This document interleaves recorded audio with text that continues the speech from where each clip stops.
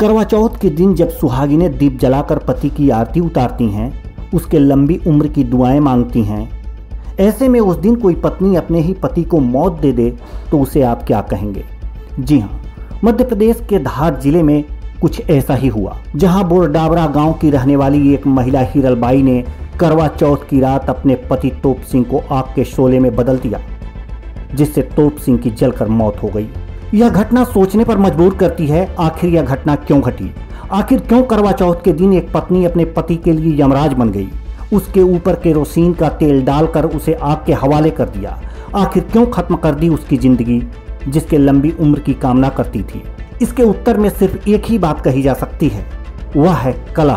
परिवार का कलह ऐसी कुवृत्ति है, जिससे आज ही जाकर लोग कभी कभी ऐसा कदम भी उठा लेते हैं, जिसकी कल्पना भी नहीं की जा सकती।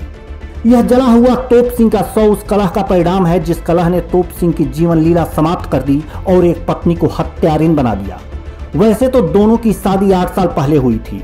दोनों ने सात जी ने मरने की कस्में खाई थी, लेकिन एक बच्चे की चाह और घर की कलह ने सब कुछ खत्म कर दिया। आठ साल के बाद भी दोनों को कोई संतान नहीं हुई थी और यही संतान की चाह विवाद का कारण बना। करवा चौथ की रात भी दोनों के बीच कुछ विवाद हुआ। धीरे धीरे बात बढ़ी और हिरलबाई ने अपना धैर्य खो दिया। वह उठी और तोप सिंह के ऊपर केरोसिन का तेल डालकर उसे आग के हवाले कर दिया। पति धो धो कर चल पड़ा। परिजन उसे अस्पताल ले गए। लेकिन बुरी तरह से जले तोप सिंह को डॉक्टरों ने मृत घोषित कर दिया। तो मेरी भाभी उसके ऊपर घसलेट डाल दिया। तो वो जल गया। हमको कैसे मालूम पड़ा?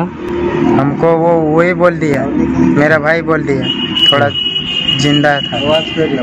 फिर उसको कहाँ लाए थे? फिर उसको गनवानी लाया था। हम्म। गनवानी से फिर गनवानी से फिर धार लाया। रमेश नाम का एक व्यक्ति जल के गंदवानी से यहाँ रेफर होकर आया था जिसकी कल रात में मृत्यु हो गई है जिसका सुबह पोस्टमार्टम कर दिया गया है। सर ये कहाँ का रहने वही गंदवानी से कैसे ये बुरु डाबरा का था गंदवानी थाने का। इस मामले में पुलिस ने तत्परता दिखाई और आरोपी हिरलबाई को हिरासत में ले लिया। मैं पत्नी हिरलबाई ने अपने पति तोप सिंह पर केरोसिन डालकर आग लगा दी। इस सूचना पर, मैं कंट्रोल रूम की सूचना पर तत्काल एक सौ आठ लेकर बोरडावरा पहुँचा था और वहाँ से घायल को पत्नी और उसके परिवार वालों के संग लेकर अस्पताल में आया, प्राथमिक उपचार कराया और जब उसकी गंभीर हालत होने से उसके डीडी कथन तहसीलदार से करवाए गए और उसको तत्काल अग्रिम उपचार हेतु धार रवाना किया पत्नी अभी हिरासत में है। फ़िलहाल इस घटना को सुनकर लोग हतप्रभ हैं और सोचने को मजबूर भी कि आखिर एक पत्नी करवा चौथ के दिन अपने ही पति की इतनी निर्ममता से जान कैसे ले सकती है। Special desk TV one India.